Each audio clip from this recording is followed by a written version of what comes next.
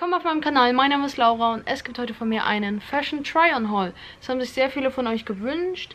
Mal schauen, vielleicht werde ich auch in nächster Zeit ein Lookbook machen, aber diesmal seht ihr wenigstens schon mal die ganzen Sachen, die ich gekauft habe und wie sie angezogen aussehen. Legen wir mal los.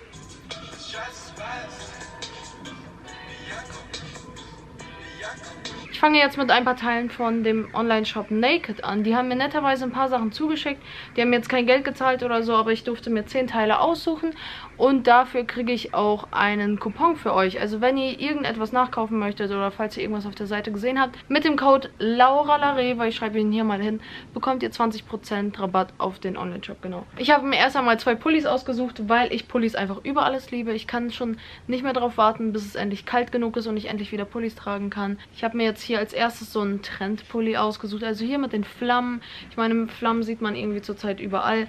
Und ich hatte irgendwie nichts. Wer von euch hatte diese, waren das Plateauschuhe? Auf jeden Fall waren es so Buffalo-Schuhe mit Flammen drauf. Meine ältere Schwester hatte die in beige mit Flammen drauf. Die waren einfach mega, ich sag's euch. Und deswegen habe ich mir diesen Pulli ausgesucht. Ich finde ihn ganz cool. Ich mag zwar lieber Kapuzenpullis, aber so ein Crewneck kann man auch nichts gegen sagen. Und ich habe den in der Größe L. Und der sitzt auch eigentlich ganz gut. Ist halt sonst einfach schwarz. Kann man nichts gegen sagen. Große Liebe. so kuschelige Pullis. Und dann habe ich mir noch einen Pullover ausgesucht. Der hier ist jetzt ein Hoodie, wie ihr sehen könnt. So mag ich es auch am liebsten. Und ich mag den Schriftzug sehr gerne, weil der hat hier auf den Ärmeln stehen The future equals female. Und das ist ein Spruch, wo ich sehr hinterstehe. Deswegen freut es mich sehr, dass da so draufsteht. Ist halt auch in dieser, ich weiß gar nicht, wie man diese Schrift nennt. Die sieht man ja zurzeit auch eigentlich überall. Ich sage einfach mal die ganzen Größen dazu, damit ihr euch das ungefähr vorstellen könnt. Den habe ich auch in Größe L. Dann habe ich mir ein Sweatshirt ausgesucht. Und ich habe gesehen, dass es bei Naked zurzeit sehr viele Sachen mit so Schlangen drauf gibt. Und ich dachte so, ein, einfach so ein Langarm-Shirt mit hier so einer roten Schlange auf dem Arm. Sieht ganz cool aus. Habe ich ebenfalls in Größe L genommen. Ich weiß nicht, was man da noch großartig zu sagen kann. Ich mag das echt ganz gerne. Und ich muss sagen, ich habe mir das ausgesucht, die ganzen Sachen. Und dann kam erst äh, das Video von Tyler Swift. Und da ist ja auch irgendwie ganz viel mit Schlangen. Und das ist ja jetzt quasi ihr Ding geworden, diese Schlangen. Ich weiß es nicht. Ich stehe ja eher hinter Nicki Minaj in No Frauds. Da war, waren überall Schlangen auf ihr drauf. Und da sehe die sagt doch auch irgendwas in dem Text, oder nicht? Ja, solche Sachen regen mich auf, deswegen muss ich das jetzt nachschauen. Ich liebe dieses Lied so sehr.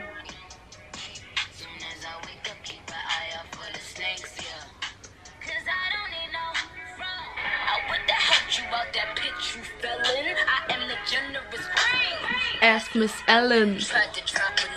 Okay, das war jetzt richtig unnötig, aber ich liebe dieses Lied. Ich weiß nicht warum, aber an meinen Ohren halten Kreolen so schlecht. Also ich kann einfach so die mir selbst so aus dem Ohr rausnehmen.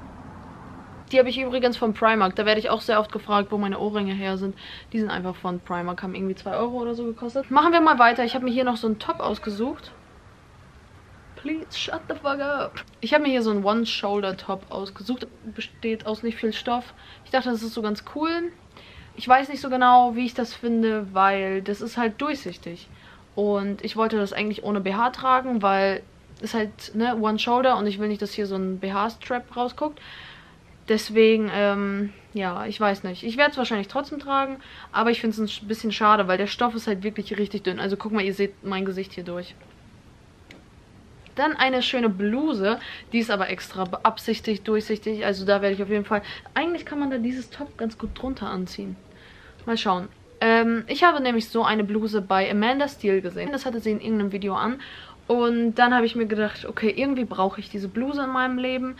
Und da sind diese ganz feinen Pünktchen drauf. Meine Schwestern waren irgendwie beide so, okay, hätten wir nicht gedacht, dass du dir sowas aussuchst, weil ich irgendwie nie so Blusen trage. Mich einfach angesprochen und das ist ebenfalls in der Größe L. Okay, ich habe mir diese Hose hier ausgesucht. Die nennt sich High Waist Tapered Pants und ich finde, die sehen echt cool aus. Die sehen auch auf dem Bild cool aus und so weiter. Und ich habe die in der Größe 40 gekauft und das ist mir leider zu klein. Die hat so einen etwas festeren Stoff, also so ein bisschen so eine Anzughose, aber die bekommt meine ältere Schwester, sie hat die schon anprobiert und an ihr sieht die unglaublich gut aus. Deswegen äh, habe ich ihr schon versprochen, bekommt die diese Hose.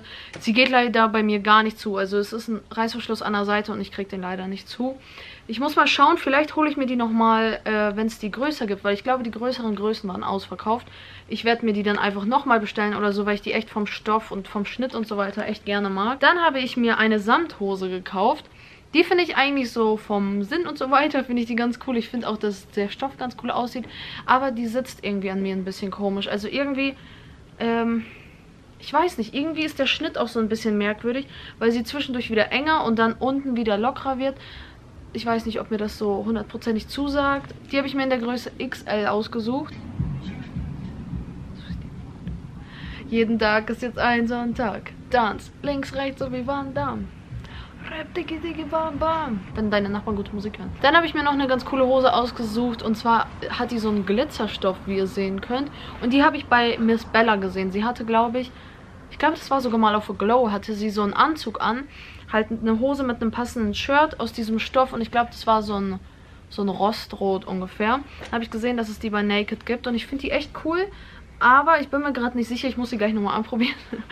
Irgendwas hat mir daran... Ach, die ist ganz eng an, an der Taille, das war's. Ich finde die an den Beinen und so gut, aber die ist an der Taille leider richtig eng und überhaupt nicht stretchy. Also, wie ihr seht, man kann es da überhaupt nicht dehnen. Das finde ich ein bisschen schade, weil halt sonst der Stoff wirklich dehnbar ist. Hier am Bein, wie ihr sehen könnt, ist es schon dehnbar und an der Taille ist es wirklich extrem eng. Also ich ich komme da rein, aber Atmen ist da leider dann nicht so drin. Und die habe ich ebenfalls in der Größe L geholt. Und als letztes mein Favorit, eine Jogginghose. Ich liebe zurzeit Jogginghosen.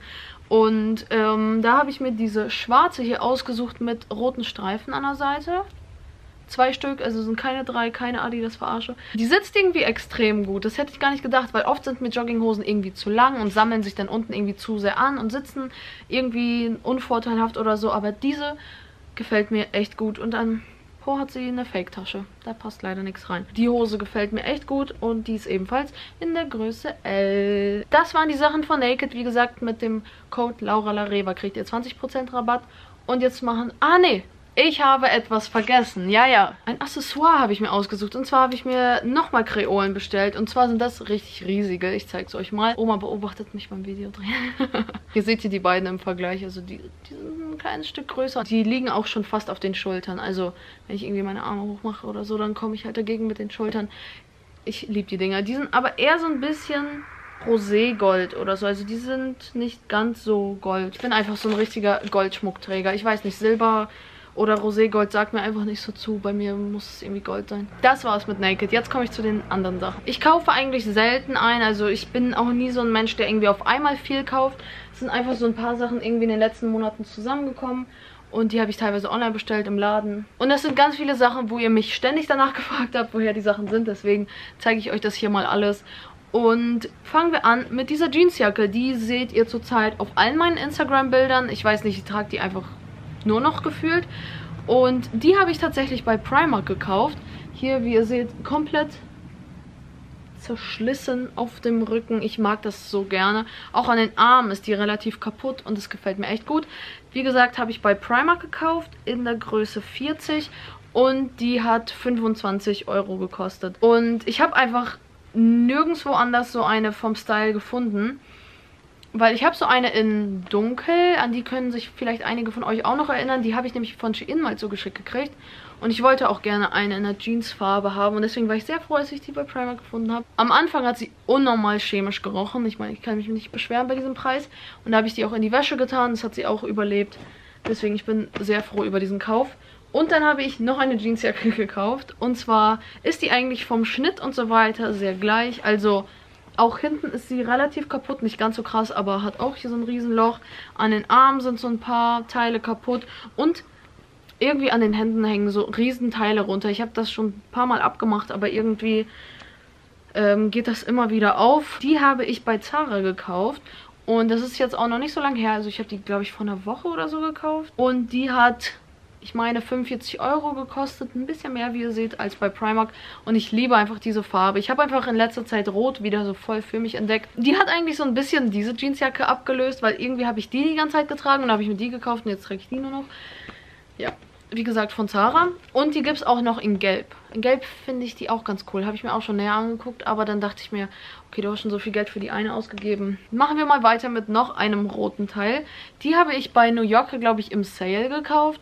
Die Hosen gibt es aber, glaube ich, auch in relativ vielen Geschäften zurzeit. Bei H&M habe ich die auch gesehen. Ich glaube 5 Euro im Sale bei New York hat sie gekostet. Ich bin mir nicht sicher. Ich habe sie auf jeden Fall mitgenommen, weil sie fast nichts gekostet hat.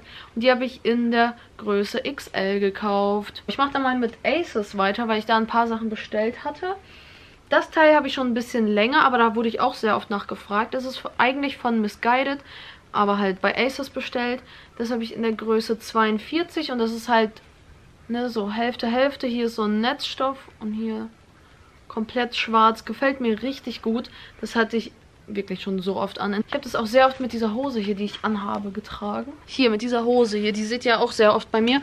Und damit zusammen gefällt mir das richtig gut. Dann habe ich so eine bisschen so eine Anzughose geholt. Die ist von, ah, von der Aces Eigenmarke. Die hat halt so einen Anzugstoff, aber die ist relativ locker geschnitten. Also wie ihr seht, schon sehr breit. Vorne hat sie halt Querstreifen und hinten Längsstreifen. Ich wollte eigentlich, dass es komplett so ist. Ich habe aber leider irgendwie keine gefunden, die mir so zugesagt hat. Der Knopf geht die ganze Zeit auf. Und ich finde auch, dass sie sehr schön sitzt. Die hat hier so, ja, die ist hier so gerafft irgendwie und es gefällt mir sehr gut, sagt mir sehr zu, habe ich auch schon einige Male getragen. Ja, ich habe irgendwie in letzter Zeit teilweise ein bisschen mehr für Klamotten ausgegeben. Also ich habe dann gedacht, okay, dann bezahle ich jetzt mal ein bisschen mehr. Aber ich habe halt so Sachen gekauft wie diese Hose, die ich wirklich abgöttisch liebe und nur noch tragen könnte. Deswegen hat sich das für mich gelohnt. Dann habe ich mir zwei Teile vom The Weekend Merch gekauft. Da gab es nämlich ein paar Sachen bei Aces. Einmal dieses T-Shirt. Da hatte ich so einen Kommentar unter dem Video, ob ich äh, Ghost Merch anhabe. Also das ist irgendeine Metal-Band oder so. Die haben scheinbar so ähnlichen Merch, der so aussieht. Ich weiß es nicht. Aber nein, es ist The Weekend Starboy Merch. Hier seht ihr, hinten steht XO drauf.